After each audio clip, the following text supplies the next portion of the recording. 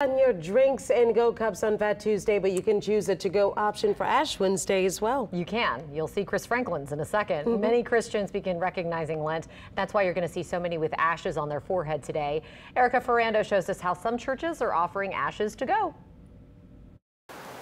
Scott, remember that you are dust to dust you shall return. On St. Charles Avenue, after days of partying and parading, a steady flow of people stopped by this church for a fresh start. Get my ashes like I always do. You know, it's a tradition. I like to cleanse from yesterday, you know, from all the partying. Brother Todd Van Alstine with Christ Church Cathedral stood on St. Charles Avenue for hours Ash Wednesday giving out ashes to go. The purpose is not to replace any kind of Ash Wednesday liturgy um, that we have inside, but what we find is, is that for some people, it's uh, nerve-wracking to walk the threshold uh, of a church to come inside.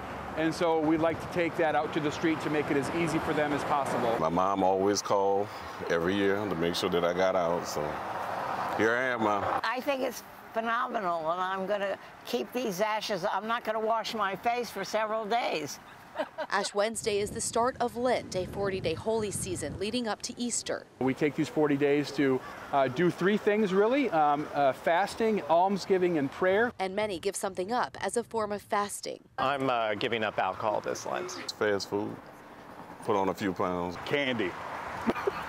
I'm a, I got a sweet tooth. We were just discussing that. But we're not telling you, though. Oh, we're going to give up something meaningful, but we're not telling you. Someone told me instead of giving up, just read the Bible more and just be more involved. So that's what I've been doing the last few years. Instead of giving something up, trying to add more to my spiritual life. So those from out of town and home. I would say probably 50-50 are marked with ashes in the shape of a cross as Lent begins. Tricia, remember that you are dust, and to dust you shall return. Erica Ferrando, Eyewitness News.